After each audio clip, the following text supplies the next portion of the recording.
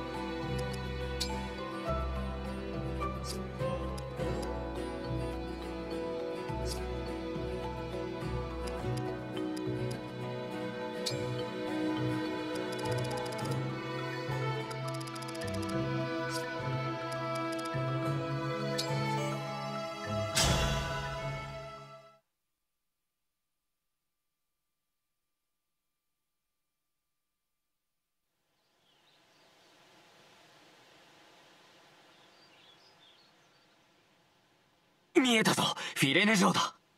やけに静かだわ。王城兵たちはどこへ？あんなにいたイルシオン兵の姿も見えないだなんて。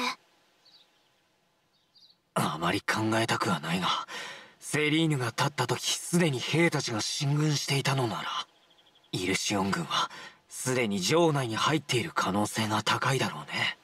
そんなお城のみんながお母様が危ないわ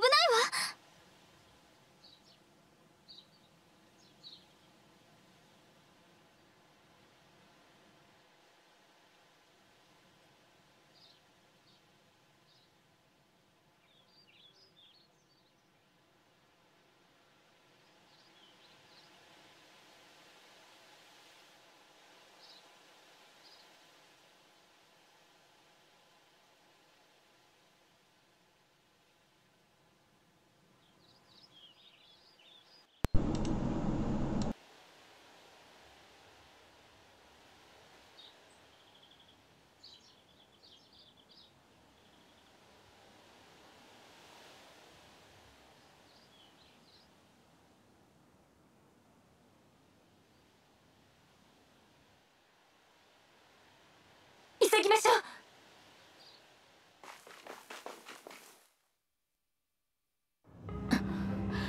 城はイルシオン軍が占拠したぜ女王様。慈愛の王女の指は一体どこに隠したんだ？言いません。城の中が外か。早く吐いた方が身のためだぜ。おっとあなた方のような卑劣な者たちに語る言葉はありません。こいつ痛い目見ねえとわかんねえか？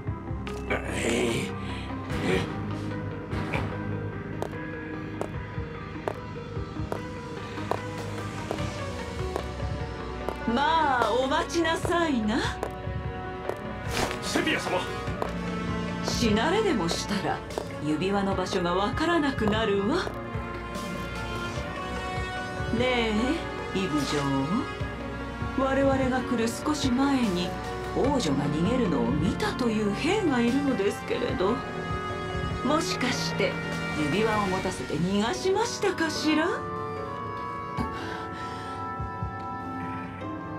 困りましたわね。私どもも手荒な真似はしたくありませんのよ。言ってくださらないと城にいる者たちを一人ずつ目の前で殺すことになりますが。そんな。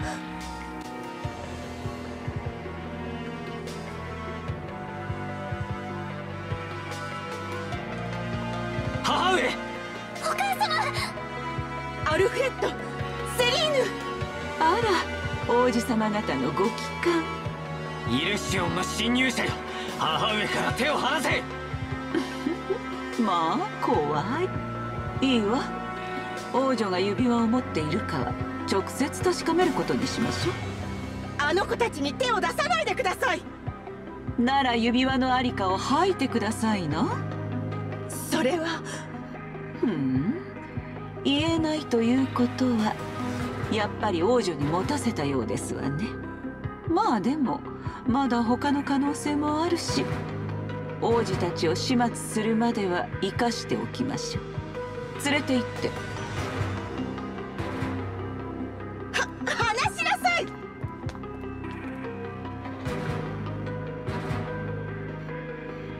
母上！イブ女ああもういちいちうるさい。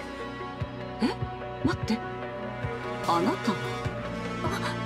いいえ他人の空にねところにいるはずがないもの。お前何者なの？王私は神竜です。神竜嘘をつかないで。ルミエルの他に神竜がいるなんて聞いてないわよ。千年の間ずっと眠っていたんだ。お前が一介の兵なら知らずとも無理はない。眠っていた？あの女いつの間にこうなしていたというの？まあいいわそれならルミエルの安否を知っているわよね。神竜ルミエルはこの前の襲撃の後どうなったのかしら。この前の襲撃ってなぜそれを知っているんです？なぜかしらね。まさかあの日王城に来て指輪を奪ったのは母さんを殺したのはあなたなのですか？殺した？やっぱり死んじゃったの？おかわいそうにね。許さない。母さんの敵まあ人聞きの悪い。殺したのは私じゃないわ。殺したのはね。何にせよあの女のガキがいるのは好都合だわ。持っているんでしょ？英雄王の指輪と聖騎士の指輪。渡しません。絶対にフィレネ城に来たのも指輪が目的か。それを知ってどうするの？もうすぐ死ぬというのに。でもメイドの土産に一つだけ教えてあげる。私たちイルシオン王国はソンブル様を復活させたわ。邪竜ソンブルを？そんな邪竜がルミエルの駒で目覚めていたのは想定外だったけど私たちのおかげで眠りから覚めたのかもしれないわね。感謝してくださいな。違います。私が目覚めたのは母さんのおかげです。母さんがずっと待っていてくれたから。まあ感動的なお話ですこと。でも最後まで聞いてる時間はありませんの私はこれで失礼いたしますわね。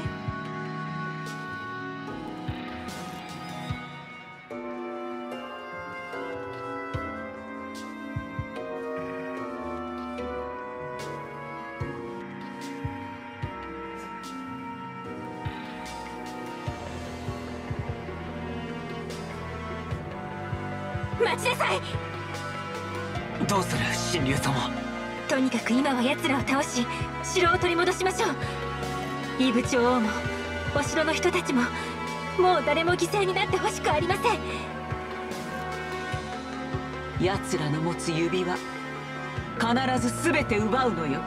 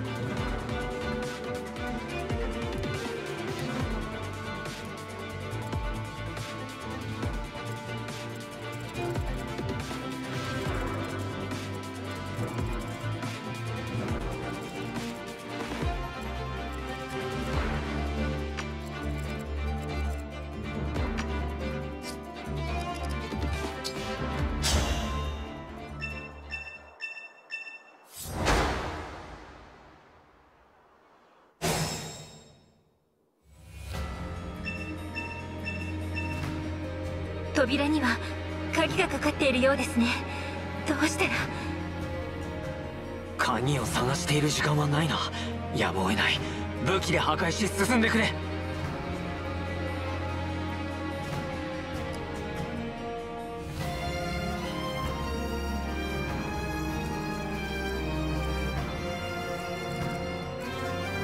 お役に立ちたいです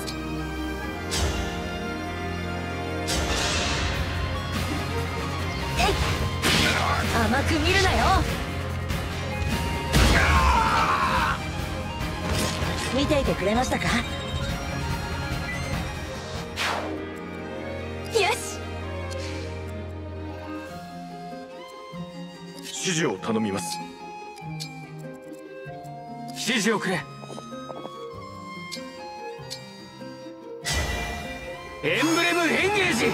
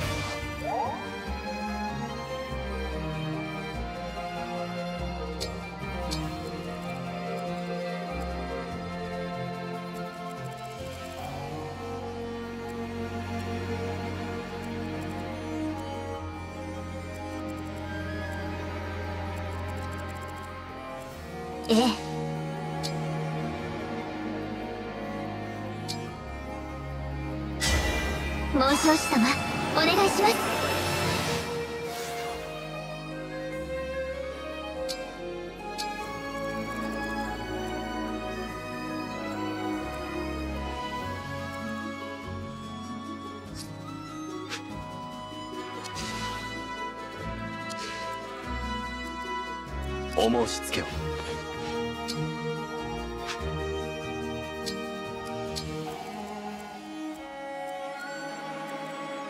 仰せのままに。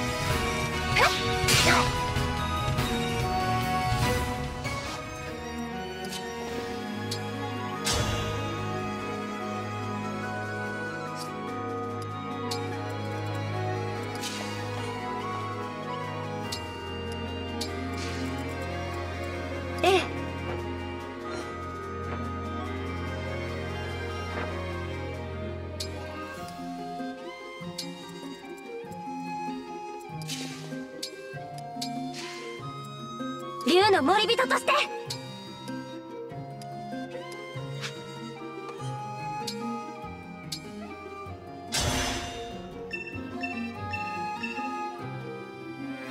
城が襲われてるってのは本当だったな。今のうちに宝を頂戴するか。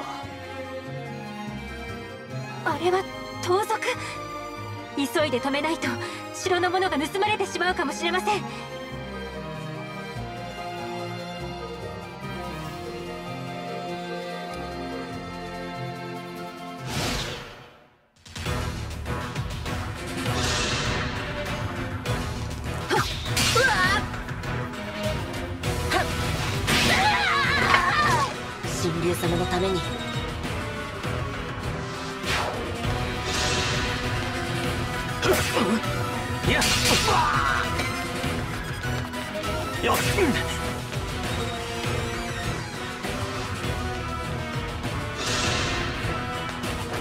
ハッピー!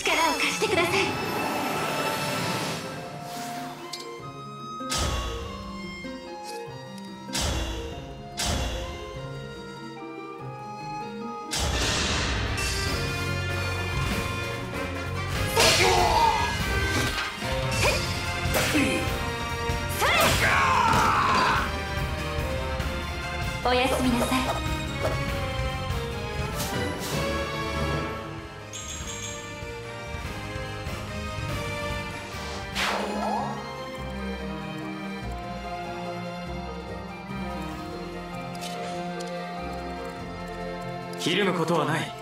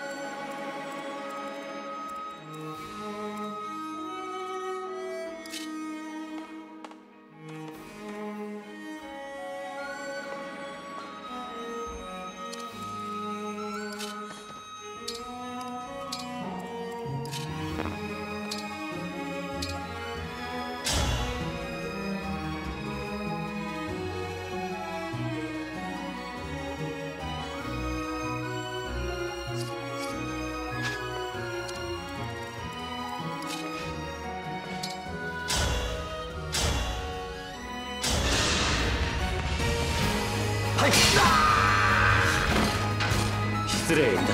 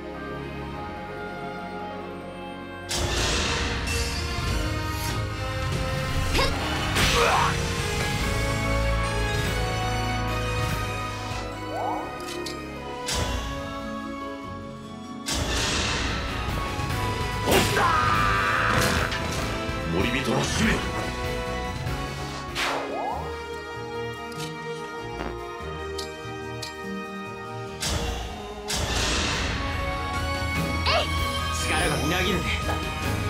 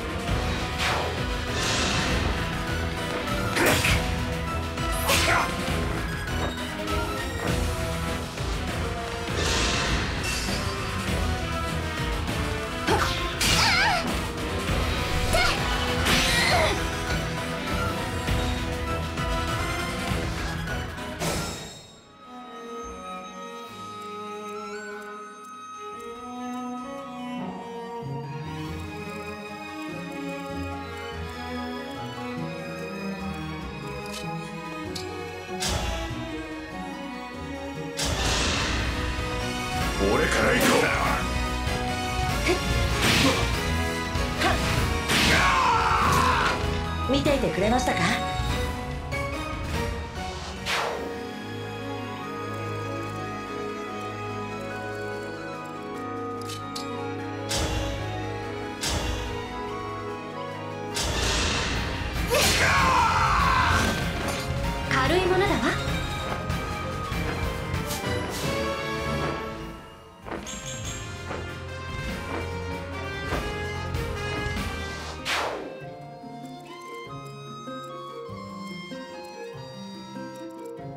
君のためなら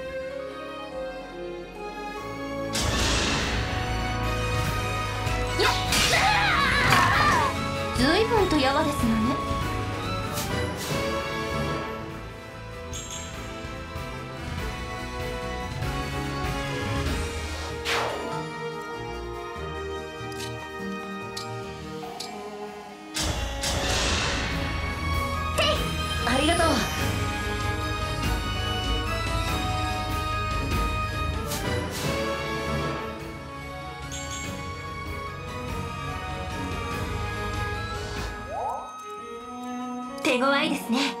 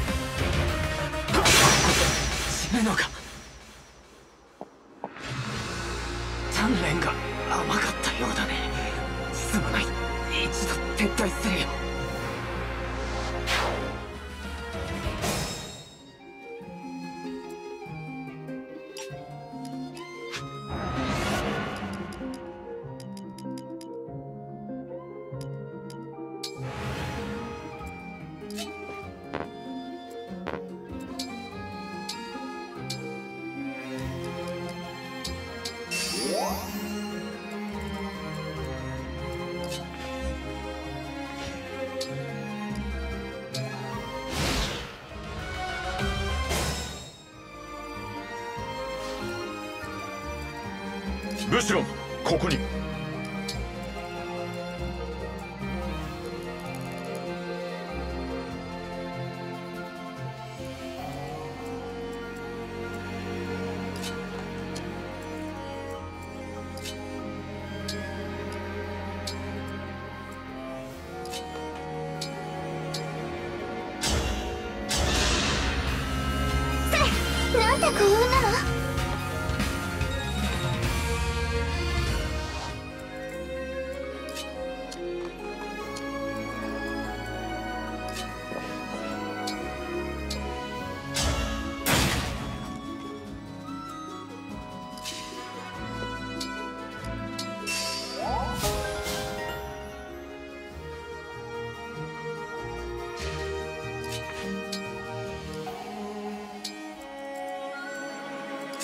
しないと。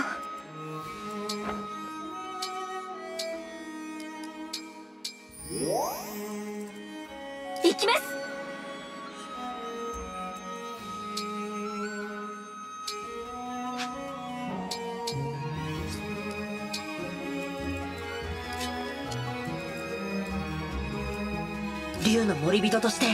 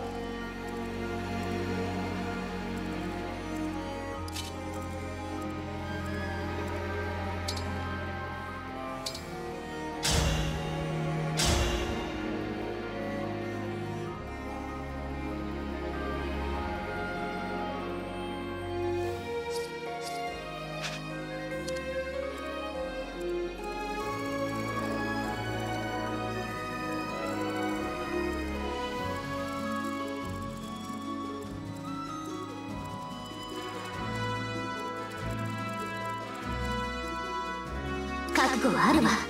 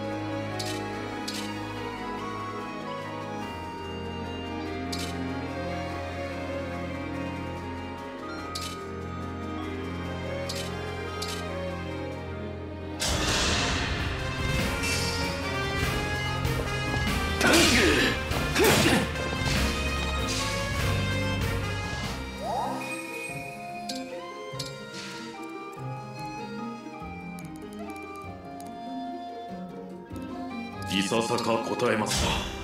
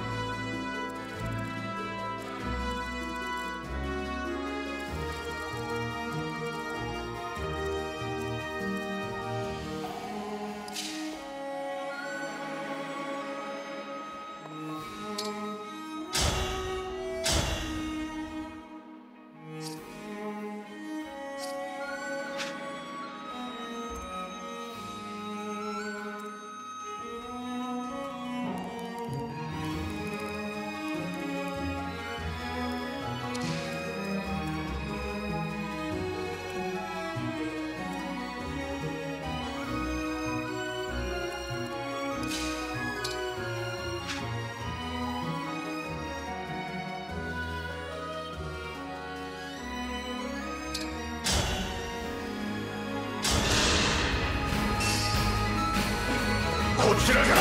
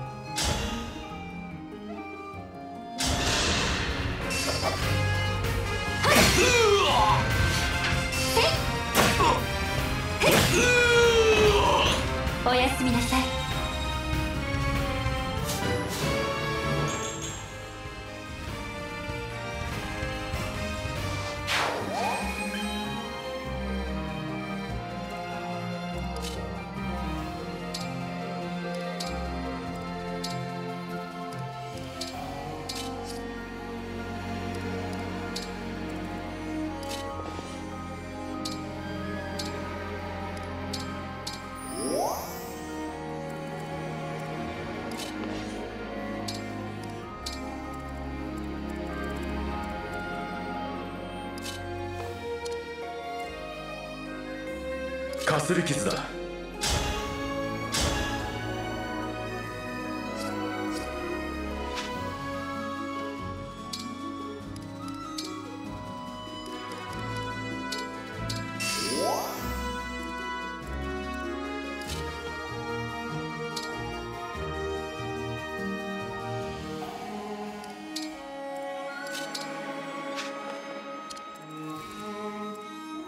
出番かい？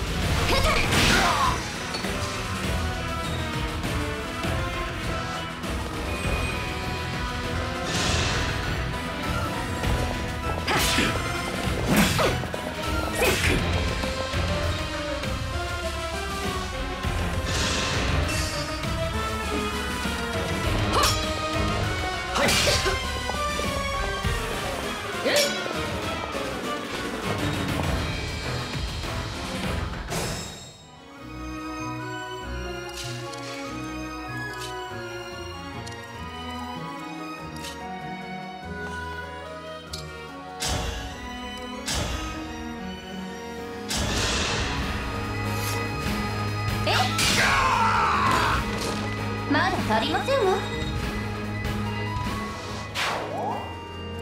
私にできるなら。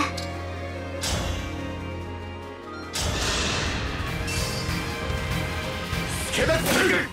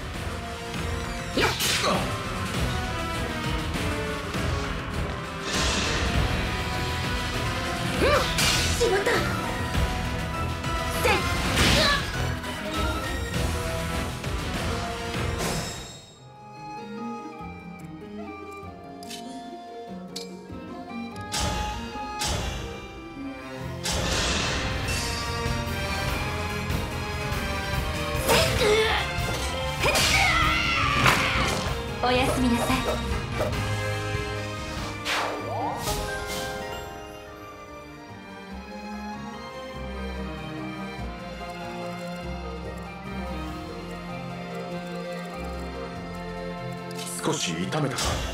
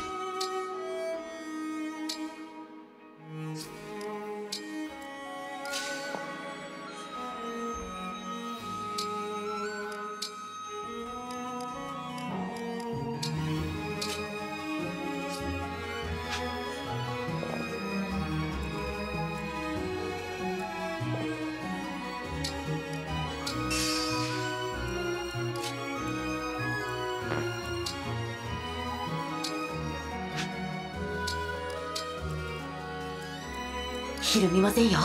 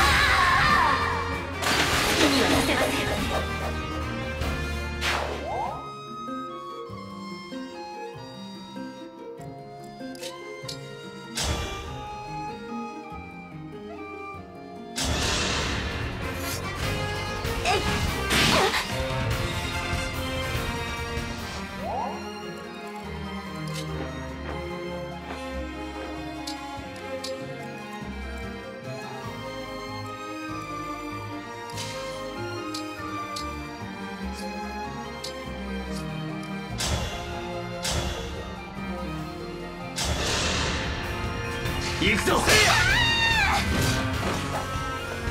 君に敬意を。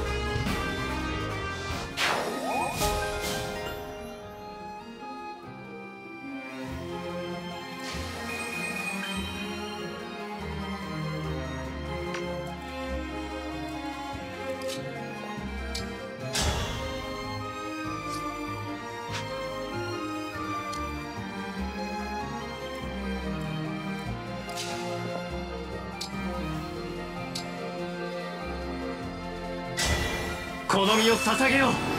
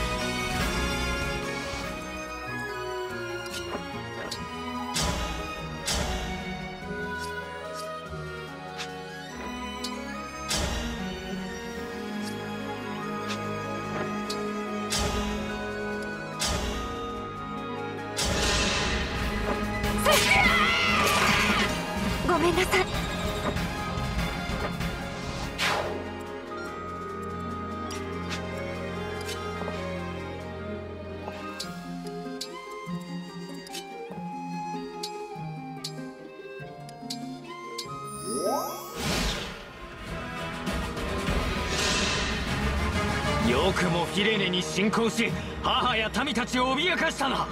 貴様はここで討ち果たす。軟弱な国の王子にできるのか？返り討ちにしてその首を女王に合わせてやるよ。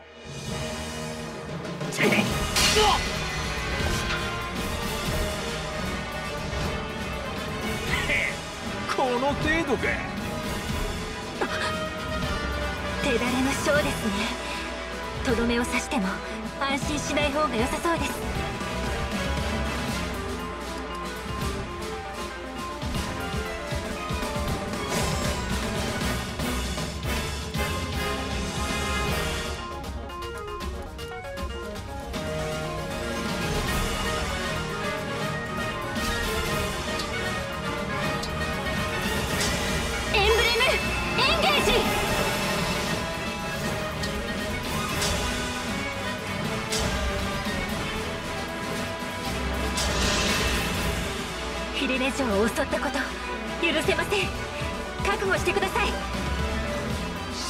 か。お前を倒せば大手柄だ。あんな女にペコペコしなくてよくなるかもな。私の手で。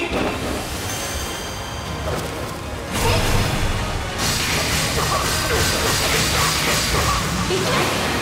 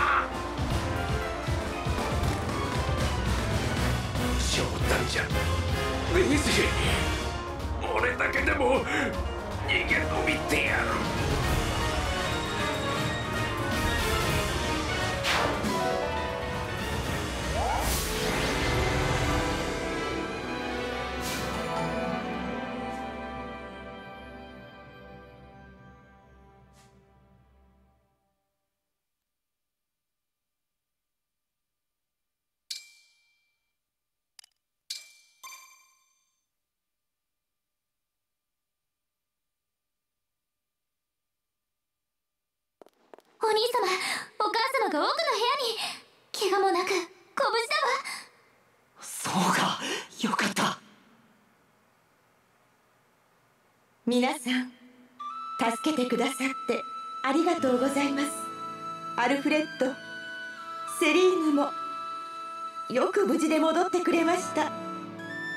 母上リトスの地より神竜様がお越しくださいました神竜様が？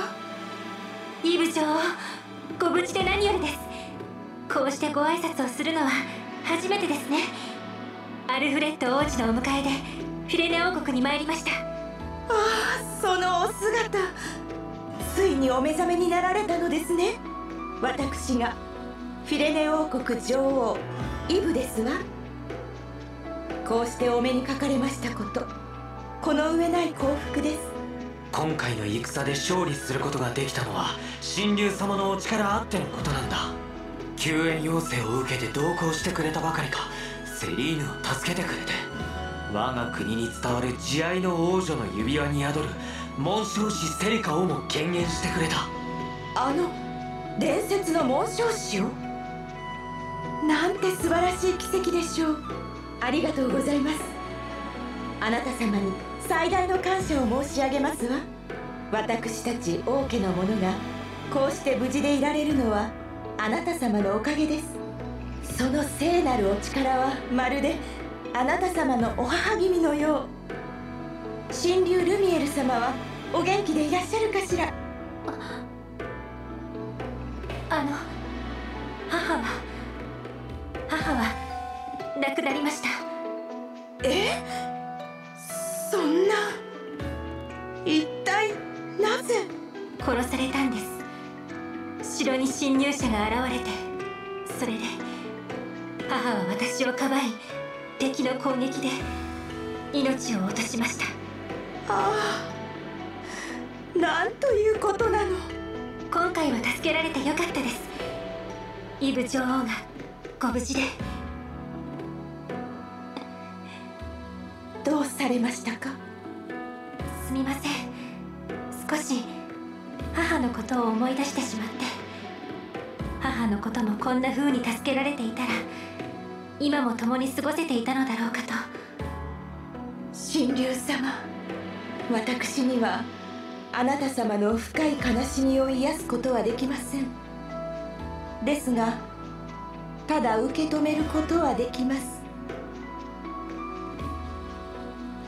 目覚めたばかりの身でお母君を亡くされさぞおつらかったでしょう。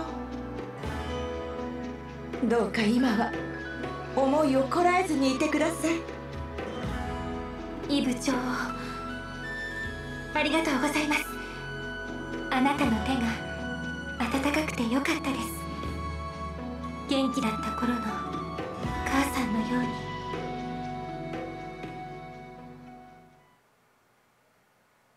落ち着かれましたか？はい。すみません。お見苦しいところをお見せして。謝るのはこちらの方だよ。僕たちのせいで君は悲しむ間もなく戦うことになってしまった。本当にすまない。ごめんなさい。神竜様。いいえ。すぐに立ったおかげでセリーヌもイブ女王も助けることができたんです。母と同じ神竜である私にとってそれは何よりの誇りですから。ありがとう。先ほどの戦でイルシオン王国は邪竜を復活させたと言っていましたね。異形兵が各地に現れているのはその影響で間違いなさそうです。目覚めた邪竜が指輪を欲しているというのも今回の襲撃で明らかになった。それなら奴らに奪われる前に次の指輪のもとへ急がないと。イブ長フィレネ王国に託されている指輪私に預けてくださいますか？もちろんですわ。どうぞお持ちください。フィレネ王国の愛と信頼そして感謝を神竜様に。ありがとうございます。指輪についてなのですがまだお伝えしていなかったことがございます。実はフィレネにはもう一つ紋章師の指輪が存在しますなんだって我が国に二つ目の指輪が。フィレネの指輪は一つではなかったのですか？隠していてごめんなさい。争いの火種になってはいけないと。その指輪の存在は代々フィレネ王国の王や女王にのみ言い伝えられてきたのです。ですが邪竜が復活した今隠しておくべきではありません。神竜様より託された指輪の数は公には各国の王家に一つずつ。しかしフィレネにはそれ以外にも密かに託された指輪があったのです。その名は暁の巫女の指輪。暁の巫女の指輪？誰にも見つからぬようにするためこのフィレネ城内での保管はしていません。今はブロディアとの国境付近にある祠に安置してあります古びた祠が。お兄様ご存知なの？父上が亡くなったすぐ後母上に連れられて一度行ったことがあるんだ。この場所は覚えておきなさいと言われて当時は意味が分からなかったけれども。そういうことだったんだね。ええ。いつかあなたが王位を継ぐ時に口伝のみで事足りるようにと。では祠へは僕が案内をそのまま神竜様に同行します。行くのですねアルフレッド。はい。僕は戦を終わらせる力となりたい。平和のために戦うことそして神竜様と共に旅立つことをお許しください。お母様私も神竜様のお力になりたいです。アルフレッドセリーヌ。わかりました旅立ちを許しましょう。立派に役目を果たしなさい。ですがくれぐれも気をつけて必ず生きて帰ると約束してくださいね。はい。はい。ありがとうございます。イブ長。準備が整うまではゆっくり休んでいらしてください。これから長い旅になるでしょう。けれどここで無事を祈る者がいることをどうか忘れないで。皆にご武運がありますよう。私はここから祈り続けておりますわ。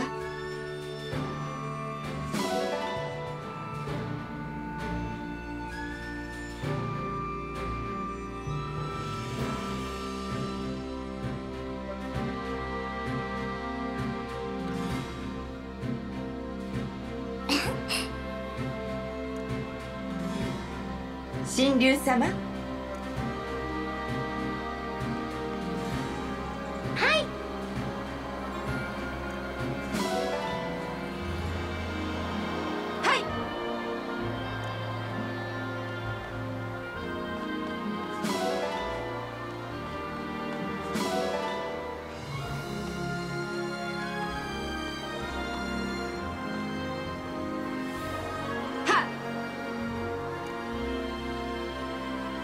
神竜様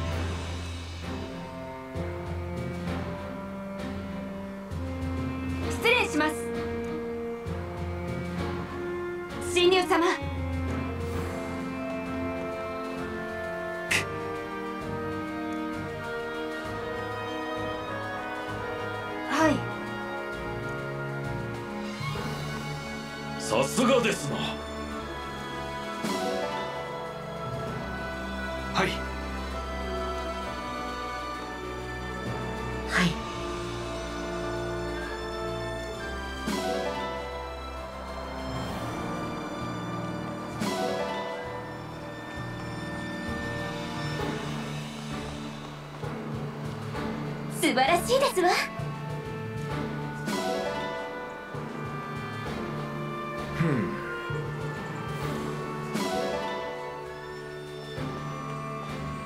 ありがとう。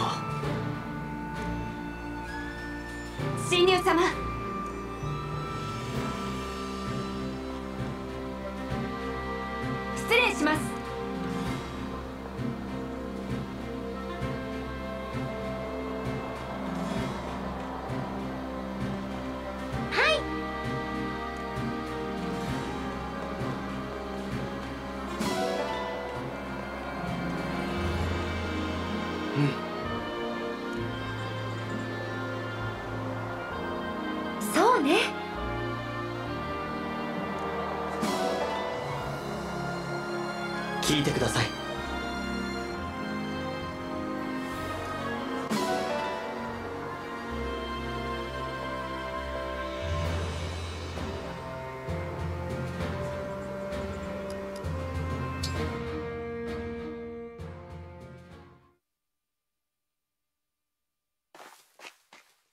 よろしいでしょうか神竜様。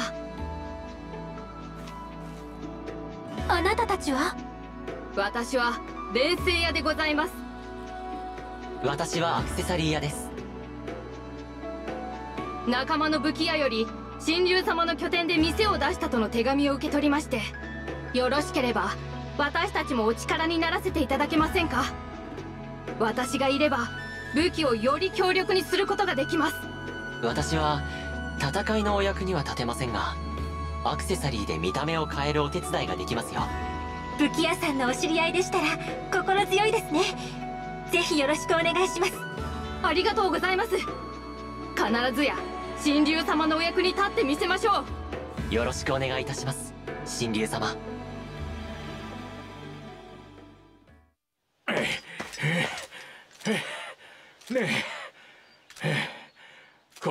こまで来りゃあいつらも。まあ無様な姿。その様子だと指輪は奪えなかったのね。も申し訳ありません。奴ら思っていたよりも手だれで。そうだ。探してらした慈愛の王女の指輪はセリーヌ王女が持ち逃げしてたらしいですぜ。今は神竜とかいうやつの手元にあるようです。ふん今回は情報だけで手打ちってことに。次はうまくやりますんで。次？次はないわ。失敗したのなら分かっているわよね。殺さないで。殺さないでくれ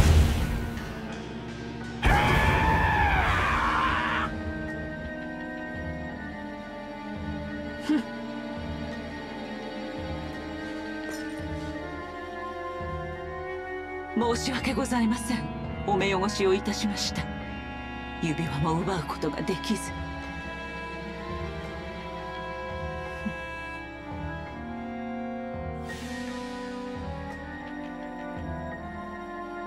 一つぐらいはと期待したのですが仕方がありませんね。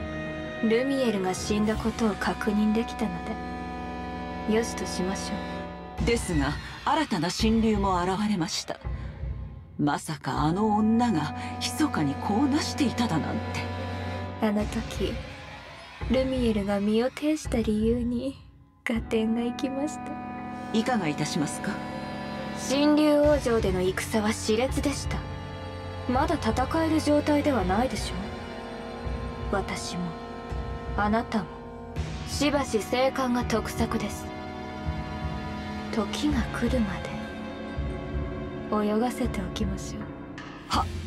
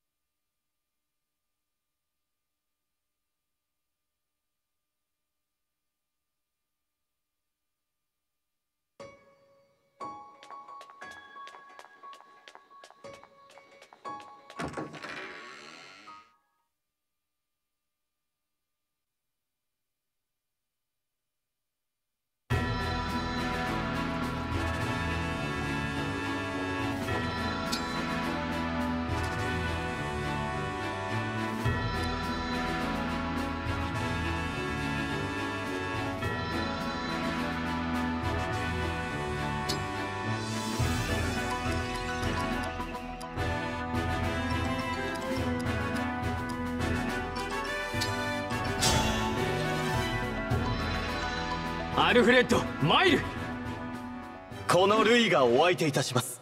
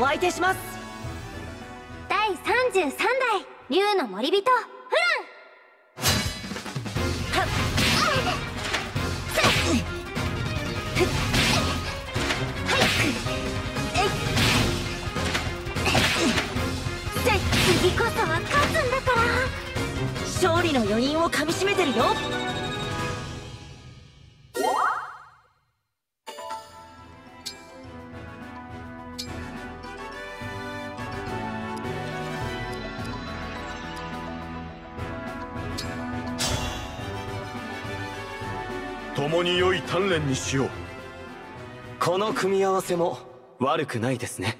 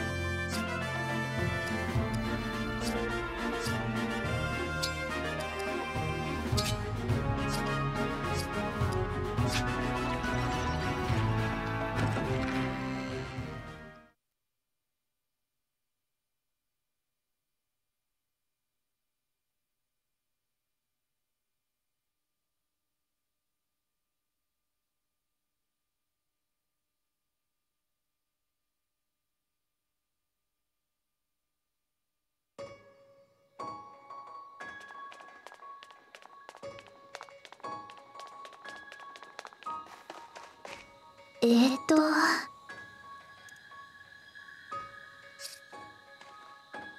そうなの。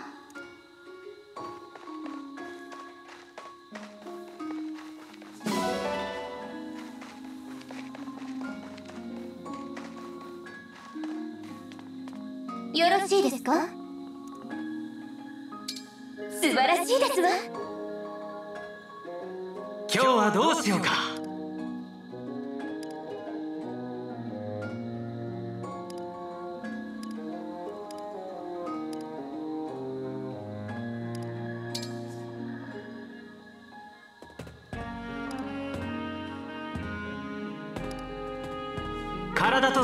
して決めてくれ。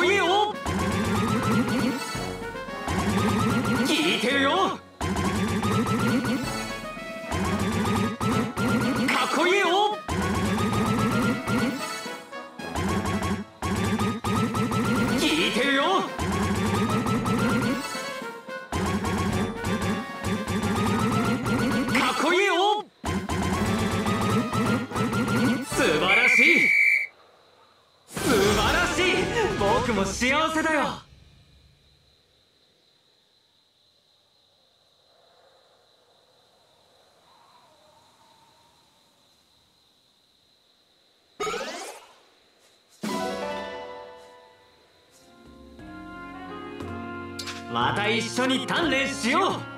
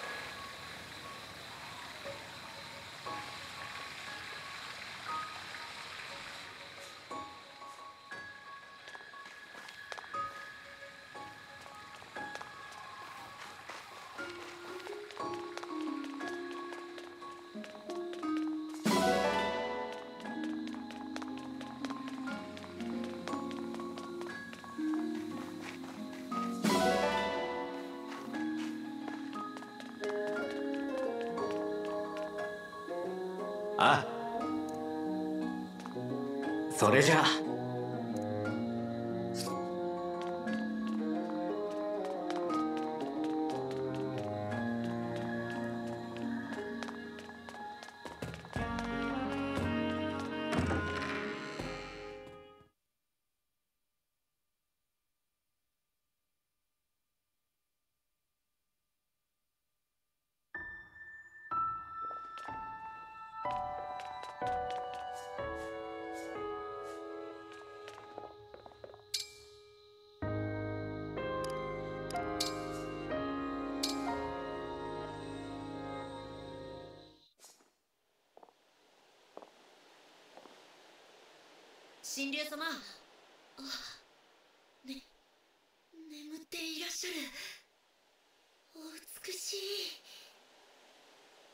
竜様の寝顔。こうして見るのは久しぶりだな。うん。やっぱり前と変わらず神々しい。そうだ。いつもみたいに拝んじゃおうあおはようございます。なんだか初めて目覚められた時のことを思い出しますね。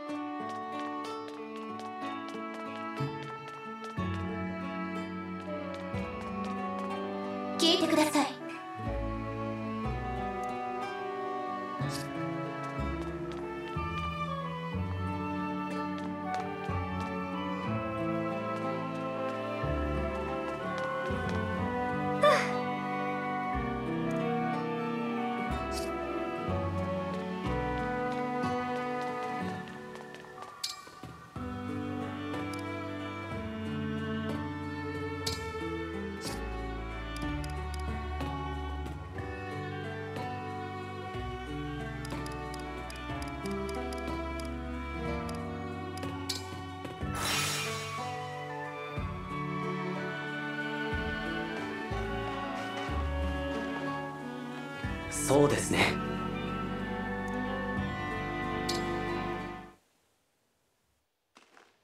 ルイ何をしているのですか？神竜様特にこれといった特別なことはしていませんよ。ただ遠くから女の子たちが会話しているのを静かに眺めているだけです。そそれは何のためにですか？何のため？難しい問題ですね。ある種哲学的な問いとも言えます。ですがそうですね。強いて答えるなら僕の幸せのためでしょうか。女の子たちが会話しているのを見るのが好きということですか？はい大好きです。近寄らず会話に参加もせずもちろん触れることも絶対にありません。ただ遠くから静かに眺めるだけです。これはいけないことでしょうか？多分ダメなことだと思います。法に触れずともダメなことはありますから。もし彼女たちが嫌がったのならすぐにやめてくださいね。もちろんです。神竜様。僕だって彼女たちを不快な気持ちにはさせたくありませんから。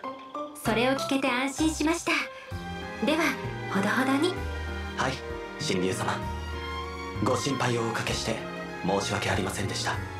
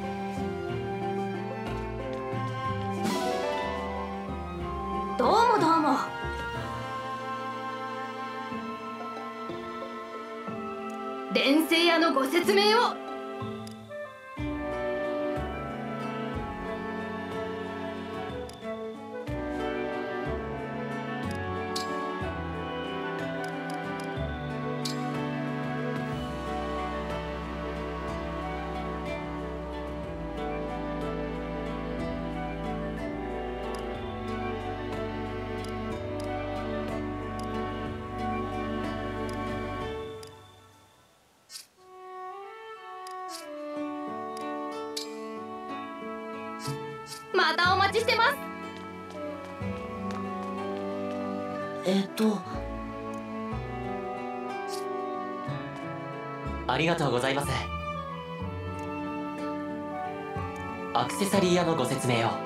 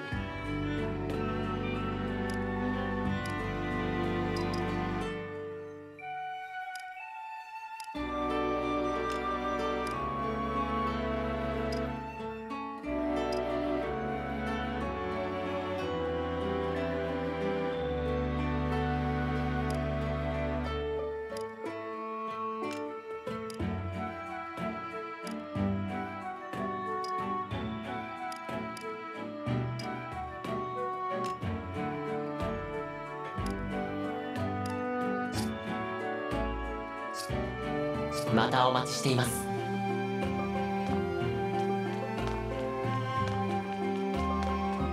それじゃあ。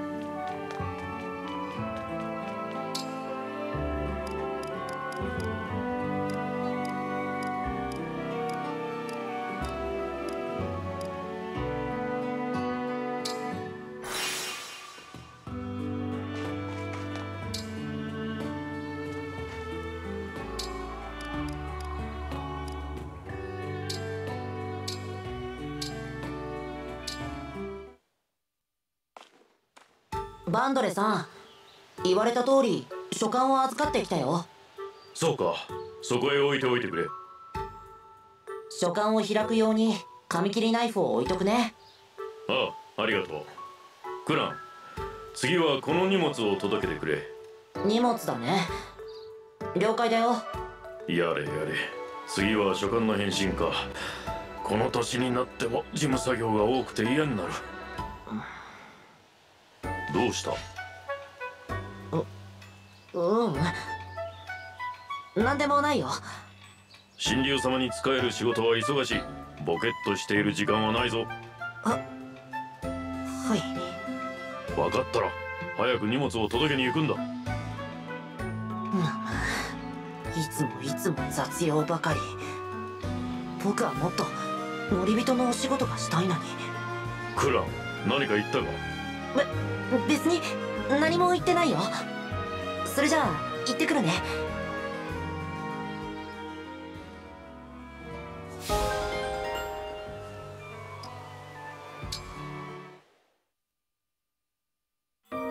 人がたくさんいるね。当たり前よ。町に来たんだから。ここなら神竜様の素晴らしさをたっぷりと布教できるはずよ。なんか緊張してきた今日のために2人で頑張ったんだから。大勢の人に読んでもらわないとね。うん。それじゃあクラン早速冊子を配りましょう。さあさあ皆さんご覧あれ。クランどうしたの？この次は私たちが何者か名乗らなきゃ。そうしないと怪しんで受け取ってもらえないってクランが言ったんじゃない。ちょっと緊張しちゃって。情けないわね。みんながジロジロ見てるじゃない。じゃあ私がクランのことも紹介してあげるから。うん。ええ我々は第33代目竜の森人フランとクランでございます。今日は皆さんに神竜様の素顔をお伝えする冊子を。フランごめん。やっぱりやめよう。え？こんなに人が多いところじゃ恥ずかしくて配れないよ。それに今さら冊子の中身がおかしくないかとか気になり始めちゃって。そんな育児なしでごめん。これじゃ竜の森人どころか僕は僕は神竜様のファンも失格だ。ごめんねフラン。クラ